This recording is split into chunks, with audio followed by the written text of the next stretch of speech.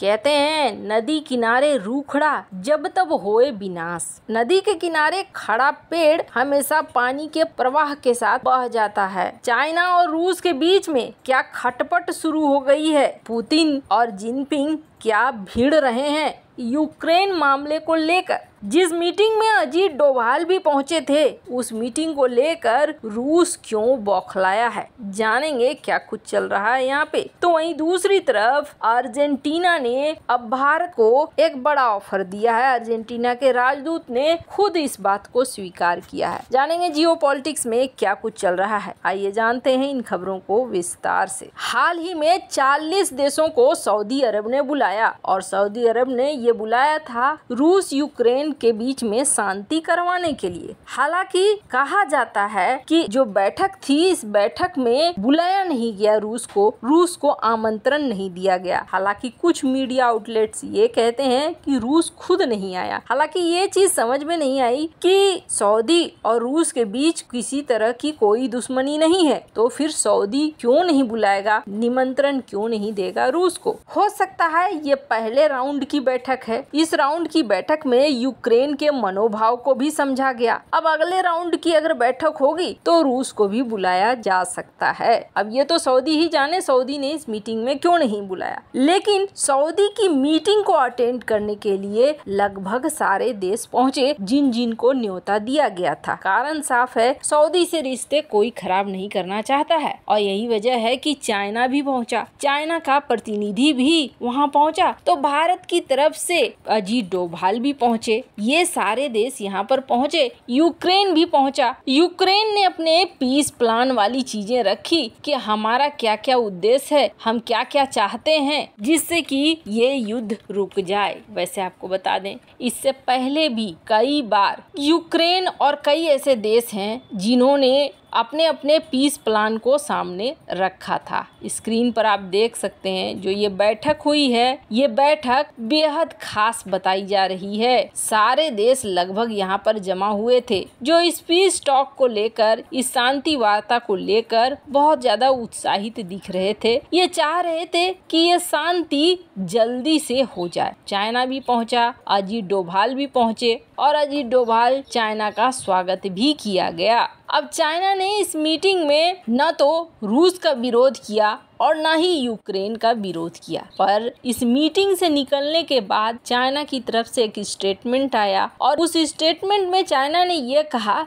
कि हम निष्पक्ष रहेंगे, हम किसी के तरफ़ नहीं रहेंगे। जब इस मीटिंग से बाहर आए चाइना के प्रतिनिधि, तब कहा गया कि एक फ़ोन कॉल आया और ये फ़ोन कॉल रूस की तरफ़ से था। रूस और इनके बीच जब बातचीत हुई तो इन्होंने कहा कि हम बिल्कुल भी दोनों में से किसी भी पक्ष के तरफ़ नहीं है। लेकिन हाँ इन्होंने ये कहा कि जो शांति वार्ता है, वो शांति वार्ता सफल रही है। रॉयटर्स ने चीनी विदेश मंत्रालय का एक बयान के हवाले बात बताई। कहा कि जो जेद्दा शहर में दो दिनों की बैठक हुई, इससे अंतर्राष्ट्रीय सहमति मज़बूत हुई है। यानी कहीं ना कहीं इन्होंने कहा कि ये जो है, ये सफलता की तरफ़ बढ़ रहा है। हालाँकि राष्ट्रपति पुतिन या पुतिन के कोई भी प्रतिनिधि इसमें शामिल नहीं हुए। लेकिन रूस ने ये कहा कि हम इस पर नज़र रखे हुए हैं कि इस मीटिंग में क्या होता है। अजीत डोभाल की तरफ़ से इस मीटिंग में यही कहा गया कि रूस को यहाँ होना चाहिए। रूस यहाँ होगा, तभी फैसला हो पाएगा। बात भी सही है, जब दोनों लड़ रहे हैं, लड़ने वाली दोनों पार्टियाँ ही यहाँ मौजूद नहीं है तो बाकी लोग अगर कोई शांति समझौता बना भी लेते हैं तो क्या होगा? शांति समझौता का पालन तो रूस और यूक्रेन को ही करना है ना? अब इस चीज़ पर, जो यहाँ पर सारी बैठक हुई, इस बैठक पर बौखला गया रूस, और रूस ने जमकर सुना दिया है। इस मीटिंग को लेकर रूस भड़क गया है। रूस का कहना है कि ये मीटिंग कोई महत्व नहीं रखती है, क्योंकि इसमें रूस को बुलाया ही नहीं गया था। शांति वार्ता की बातचीत कोई मदद नहीं करने वाली है। इस मीटिंग में यूक्रेन शामिल था। इस मीटिंग में 40 देश के वरिष्ठ पदाधिकारी भी दो दिन के लिए जेद्दा में इकट्ठा हुए थे और मीटिंग का उद्देश्य था सत्रह महीने से चल रहे इस युद्ध को खत्म करना। रूसी विदेश मंत्रालय ने एक बयान जारी किया और कहा कि रूस के बिना और मॉस्को के हितों को ध्यान में रखे बिना ये बैठक निरर्थक है। बयान में इस बात को दोहराया गया कि रूस अपनी शर्तों पर एक राजनयिक समाधान के लिए तैयार है जो युद्ध को खत्म कर सकता है। यूक्रेनी राष्ट्रपति जेलेंस्की के सलाहकार हैं माइखेलो पोडाल। इन्होंने रूस की पिछली मांगों को खारिज कर दिया। उनका कहना है कि रूस को सभी कब्जे वाले इलाकों से पीछे हटना चाहिए। यूक्रेन इस पर कोई समझौता नहीं करने वाला है। खैर, अब रूस यहाँ पर भड़क गया है कि ये जो मीटिंग है, ये मीटिंग तो बेकार है।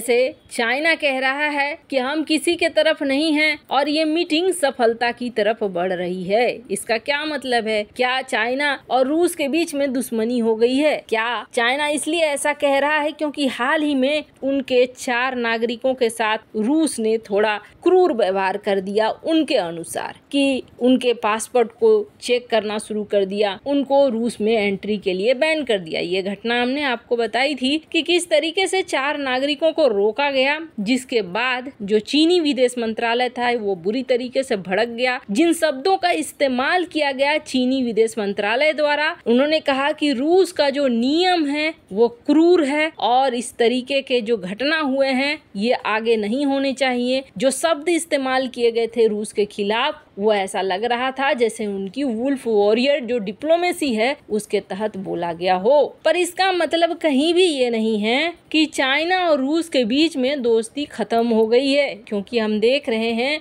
अलास्का में किस तरीके से युद्धपोत लेकर दोनों पहुँच गए हैं। दोनों ही कम्युनिस्ट देश हैं और दोनों एक दूसरे को साथ देंगे, ये तो समझ में आ रहा है। जहाँ एक तरफ़ ये सब कुछ चल रहा है तो वहीं दूसरी तरफ़ अर्जेंटीना ने भारत को एक बड़ा ऑफ़र दिया है। दक्षिण अमेरिकी देश अर्जेंटीना, इसका कहना है कि तेजस लड़ाकू विमान और ब्रह्मोस मिसाइलों को खरीदने को इच्छुक है। पिछले महीने भारत की यात्रा पर आए थे अर्जेंटीना के रक्षा मंत्री तेजस और ब्रह्मोस फैसिलिटी का दौरा भी किया था। भारत में अर्जेंटीना के राजदूत हैं ह्यूगो जेवी गोबी इन्होंने अपने देश की इच्छा की पुष्टि की है। दरअसल हुआ ये, यहाँ से जाने के बाद कहा जाने लगा कि अर्जेंटीना के ऊपर दबाव बन रहा है। चाइना की तरफ़ से भी और अमेरिका की तरफ़ से भी कि तुम तेजस विमानों को मत लो, हमारे विमानों को लो। पर एबीपी की रिपोर्ट के मुताबिक गोबी ने कहा है कि भारत और अर्जेंटीना के बीच द्विपक्षीय संबंध बहुत आगे बढ़ गए हैं। अब हम रक्षा और सुरक्षा को लेकर काम कर रहे हैं और अर्जेंटीना ने पहली बार भारत के तेजस विमान पर रुचि दिखाई है और तेजस को लेकर खरीदारी आगे बढ़ रही है। हेलीकॉप्टर के रख रखाव को लेकर एचएल के साथ समझौता किया गया है। हालाँकि अर्जेंटीना का ये कहना है कि तेजस में कुछ कंपोनेंट्स हैं जो यूके के हैं, उनका बदलाव करो। और भारत का ये कहना है कि ये सारे बदलाव हम तब करेंगे जब आपके साथ डील फाइनल हो जाएगी। खैर, अर्जेंटीना फाइनली क्या करता है, वो तो जब तक डील साइन नहीं होगी, कहना मुश्किल है। वैसे इन सब मामले में आपकी क्या राय है? कमेंट कर ज़रूर बताएँ। जल्द मिलते हैं अगले वीडियो में नई खबर के साथ।